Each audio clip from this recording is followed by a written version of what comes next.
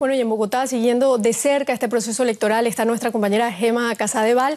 Gema Zuluaga ya anticipó que no mantendrá un silencio cómplice si el venezolano Nicolás Maduro reprime a opositores. ¿Aumentar sus críticas a Caracas y a la FARC le ayudarán acaso a ganar más votos?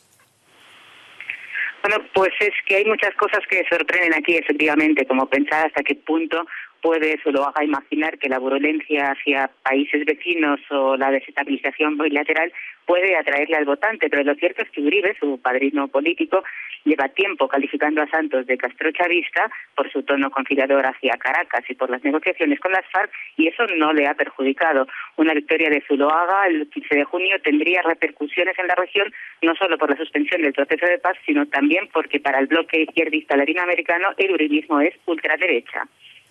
Gema, hablemos ahora de Santos. ¿Girará acaso a la izquierda para captar el voto de los verdes y del polo democrático?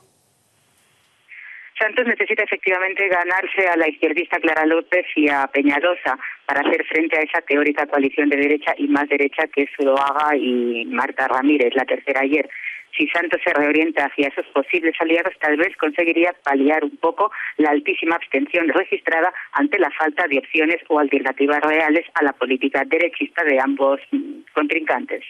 Bueno, ya veremos qué pase. Gema Casadeval, gracias.